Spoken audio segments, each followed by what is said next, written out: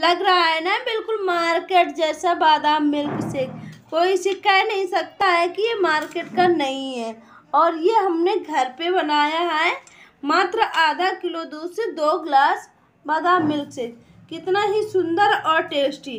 तो फ्रेंड्स, आप लोग भी बनाकर ज़रूर ट्राई करना। और फ्रेंड्स, बहुत ही स्वादिष्ट और टेस्टी बनता है। तो चलिए, पहले इसकी रेसिपी हम देख लेते हैं। नमस्कार दोस्तों, स्वागत है आपका हमारा चैनल सीमा इज़ क्रिएटिविटी में। कैसे हो आप सब? आशा करते हैं हम सब अच्छे होंगे। फ्रेंड्स, आज हम बादाम मिल्क शेक बनाने जा रहे हैं। उसके लिए हमने बादाम लिया है।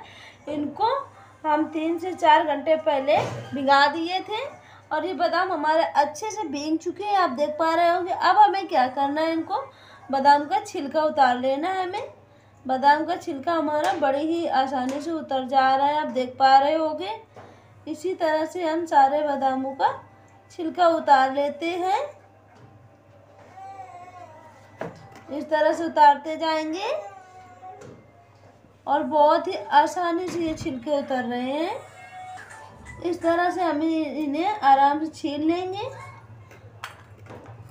और ये आराम से ऐसे भी कर देने से सारा छिलका इसको उतर जाएगा। आप देख पा रहे होंगे इस तरह से। तो मैंने इस तरह से सारे देखो निकाल लिए और दो चार बच्चे हैं। और फ्रेंड्स मैं आपको एक बात और बता दूँ कि गर्मियों में आप बादाम भिगा कर ओवरनाइट के लिए भिगा कर रख देना और सुबह इसका छिलका उतार कर खाना। इससे क्या है, इसकी जो गर्मी होती है बादाम की, वो नहीं रह जाती और ताकतवर बादाम बढ़िया से मिलता है तो आप ऐसे बादाम मत खाया करना ओवर ओवरनाइट के लिए भिंगा देना, और सुबह उसका छिलका उतार के आराम से खा लेना। तो देखो, बातों बातों में ही मेरे बादाम का सारा छिलका उतर गया है। अब हमें इसका पेस्ट बनाना है तो हम इसको ग्राइंडिंग जार में डाल के इसका पेस्ट बना लेंगे पहले। हमने बादाम का पेस्ट बनाकर तैयार कर लिया, आप देख पा रहे होंगे। ये इस तरह से हमने बादाम का पेस्ट बनाया है।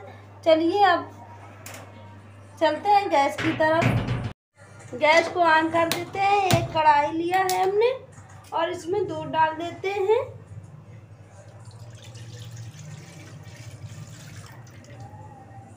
तो मैं इसमें करीब आधा किलो दूध डालूँगी।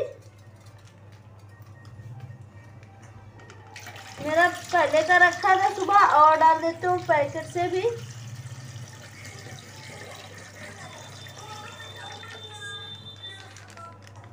तो मैं आधा किलो दूध डाल दी इसमें।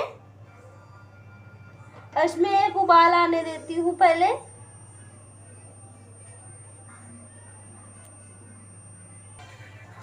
आप देख पा रहे होगे, हमारा दूध में बॉयल आ चुका अब हम इसको किनारे से इस तरह से करके बीच में मलाई करते रहेंगे। और ये हमने फुल क्रीम का दूध लिया है। आप कोई सा भी दूध ले सकते हो बादाम मिल्क शेक बनाने के लिए। फ्रेंड्स आप लोग एक बार मेरी तरह से बादाम मिल्क शेक ज़रूर बनाकर ट्राई करना। बहुत ही स्वादिष्ट और टेस्टी बनता है। अगर आप लोगों को हमारा वीडियो अच्छा लगा तो वीडियो को लाइक करना शेयर करना कमेंट करना।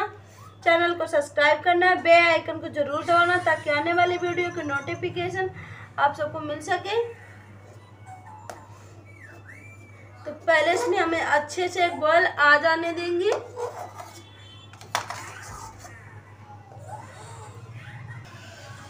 देख पा रहे होंगे, हमारे दूध में बॉयल आ चुका है। गैस को स्लो रखेंगे। और अब हमें क्या करना है इसमें? थोड़ी सी हम चीनी डालेंगे। ज़्यादा चीनी हमें नहीं डालना है, थोड़ा ही डालना है, क्योंकि बादाम मिल्क शेक ज़्यादा मीठा नहीं अच्छा लगता है। तो हम इतनी चीनी डाल दे रहे हैं इस पर और इसमें भी हम बचा लेते हैं थोड़ी सी हमें लग रहा है कि ज़्यादा हो जाएगी, नहीं तो। तो हमने इसमें चीनी भी डाल दिया और चीनी को मेल्ट होने देते हैं। दूध को चला कर इसे साइडों से इस तरह से बीच में करते रहेंगे। इस तरह से। अब हम क्या करेंगे एक एक चम्मच जो हमने ये बादाम का अपना पेस्ट बनाकर तैयार किया है, ये हम इस पर डालेंगे। थोड़ा थोड़ा करके इकट्ठा हम इस पर नहीं ऐड करेंगे थोड़ा थोड़ा ही हम करके ऐड करेंगे। और इसको भी हमें तीन चार मिनट तक दूध के साथ पका लेना है। आधा हमने पहले ये ऐड कर दिया है बादाम का पेस्ट, और आधा और अब अभी भी, अभी ऐड कर देते हैं इस तरह से। अब हमने थोड़ा सा ठंडा दूध लिया है, ये रूम टेम्परेचर में हमने दूध लिया है। और हम कस्टर्ड पाउडर लेंगे और इसमें मिक्स कर देंगे। इसमें इस तरह से रूम टेम्परेचर के दूध में कस्टर्ड पाउडर हमें मिक्स करना है। इस तरह से हम गर्म दूध में हमें कस्टर्ड पाउडर नहीं मिक्स करना है, ठंडे दूध में ही मिक्स करना है। हम इसमें डेढ़ चम्मच कस्टर्ड पाउडर मिक्स करेंगे। और इसमें एक भी लम्स न रहे, हमें ऐसा मिक्स करना है। इस तरह से हम मिक्स कर देंगे। और इसका हमें एक गोल तैयार कर लेना है। देखिए, इस तरह से हमने इसको गोल तैयार कर लिया है। और इसको भी हमने बादाम के पेस्ट को भी चार से पाँच मिनट के लिए पका लिया है अच्छे से। इस तरह से। अब हम इसमें जो कस्टर्ड पाउडर का घोल तैयार किया है, इसमें हम थोड़ा थोड़ा ऐड करेंगे। हमें इकट्ठा नहीं ऐड करना है थोड़ा थोड़ा ही इस पर डालना है। इस तरह से डाला, डालेंगे और इसको चलाते रहेंगे।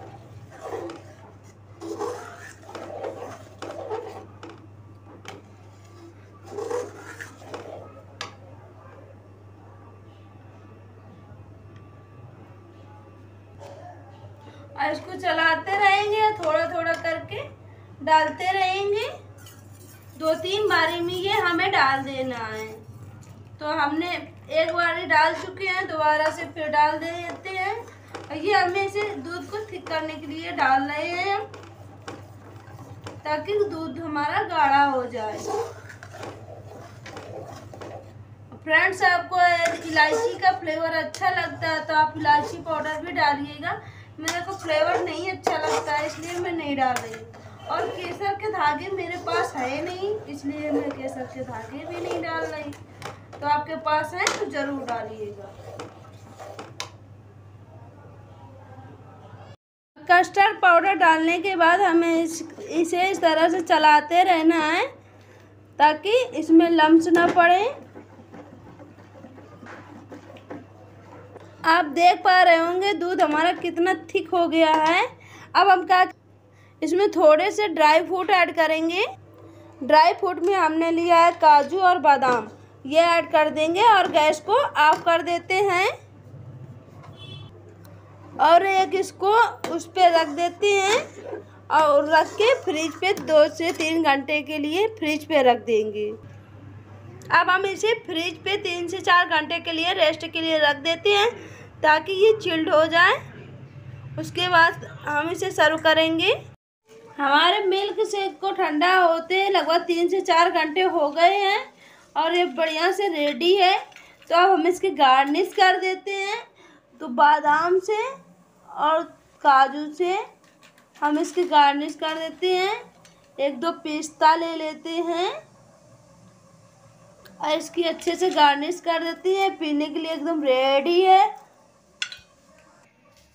हमने इसकी गार्निश भी कर दिया और देखिए बादाम मिल्क से कितना सुंदर लग रहा है। तो फ्रेंड्स आप भी एक बार बादाम मिल्क शेक ज़रूर बनाकर ट्राई करना और मुझे कमेंट करना।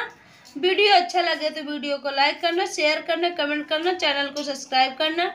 बे आइकन को ज़रूर दबाना ताकि आने वाले वीडियो की नोटिफिकेशन आप सबको मिल सके। तब तक के लिए bye bye take care thanks for watching